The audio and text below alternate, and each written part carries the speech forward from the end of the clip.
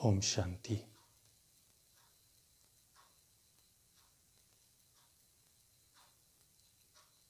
વર્તમાન સમય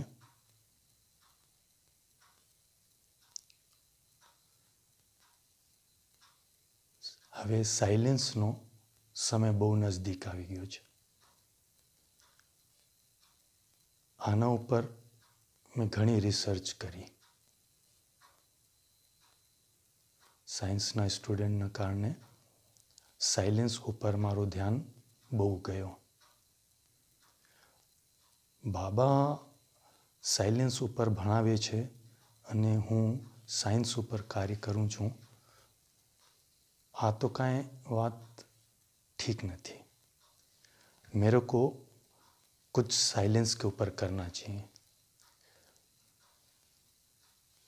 तो फिर सोचते सोचते बुद्धि वहाँ तक गई कि आखिर ये पढ़ाया किसने? ये प्रश्न उठ रहा है कि अब साइलेंस में मैं क्या करूँ? अच्छा मैं एक कोने में बैठ गया तो क्या साइंस से बड़ा हो गया? ऐसे मन में बहुत विचार उठने लगे। क्योंकि मेरे को ये अनुभव था कि मैं जो कुछ भी बाबा को बताता हूँ, बाबा उसमें हेल्प करते हैं और मैं सक्सेस हो जाता हूँ। लेकिन बाबा किस प्रकार से हेल्प करते हैं, उसका अनुभव नहीं था। इस बार ये ऐसा हुआ कि मन बुद्धि पूरी की पूरी बाबा के पास एकाग्र हो गई, एक क्वेश्चन लेके। कि साइंस साइलेंस से ऊँची कैसे.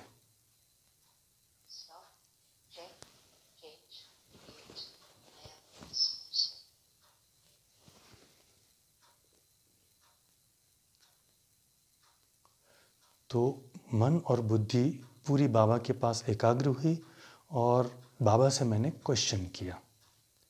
क्योंकि ये पढ़ाया तो शिव बाबा ने है। तो शिव बाबा है कहाँ? उनसे कंफर्म कराएँ। तो ये भी हमें मालूम है कि वो परम धाम में है। तो बुद्धि का योग पूरा कंसंट्रेशन बाबा के पास गया, क्योंकि अब तक का जो अनुभव था कि बाबा हमारी आस पूरी करते हैं, लेकिन कैसे करते ये नहीं मालूम। इस बारी जब पूरा कंसंट्रेशन बाबा के पास गया तो मैंने बाबा से उत्तर का अनुभव किया।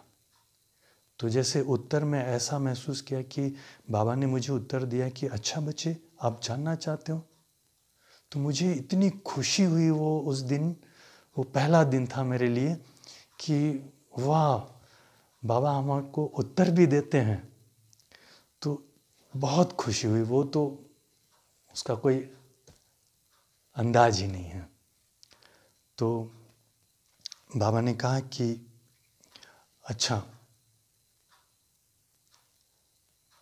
बच्चे, आपके पास जो भी व्यर्थ हैं उसको ख़त्म कर दो। और पाँच सात दिन में मैंने इस पर सोचते गया और पता चलते गया कि रात को जब चेकिंग करता था तो पता चलता था कि हाँ इस समय मैंने कारोबार की बात की, फिर व्यर्थ भी की।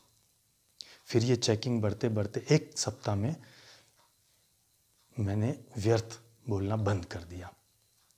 फिर उसी जगह बैठा, बाबा से पूछा बाबा, अब आप बताइए, मैंने व्यर्थ ख़त्म कर दिया, अब क्या करूँ? साइलेंस कैसे ऊँची बताइए। तो बाबा ने कहा कि अब जो कारोबार के बोल है ना, उसको भी इशारों पे ले आओ।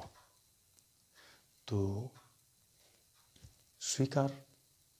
तो जब कारोबार के बोल इशारों पे ले आया तो मेरे पास बोलने का कुछ रहा ही नहीं।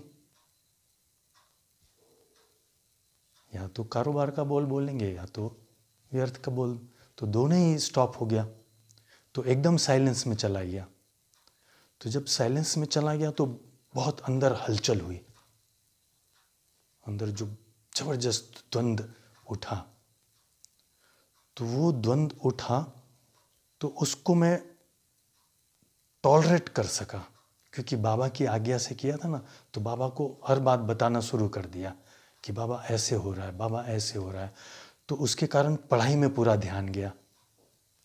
तो पढ़ाई समझ में आने लगी कि ये ये पॉइंट इन बातों को काटती है।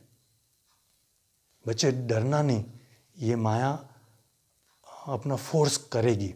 तो उसका ग्राफ थोड़ा थोड़ा बढ़ते गया। और बढ़ते बढ़ते टॉप लेवल तक आया। उसने मेरे को खूब डराया। और स्पष्ट कहा कि तुम ये छोड़ दो, तुम्हारी क्या वैल्यू यहाँ पे? तुम तो बहुत बड़े इंजीनियर बन सकते हो।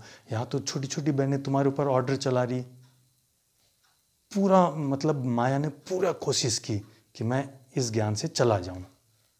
भाई जी से परमिशन ले लूँ और चला जाऊँ। लेकिन एक बल, एक भरोसा। बाबा ने कहा नो कुमारों को न शादी करनी, न बाबा को छोड़ना है। बाबा का हाथ और साथ नहीं छोड़ना तो उसको मैं पकड़ के रखा।